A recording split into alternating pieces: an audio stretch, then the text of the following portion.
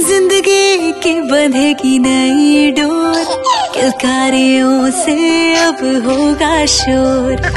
आँगन में खुशी होगी मोर। हम हो गए हैं baby shore baby sure fertility clinic and IVF centre.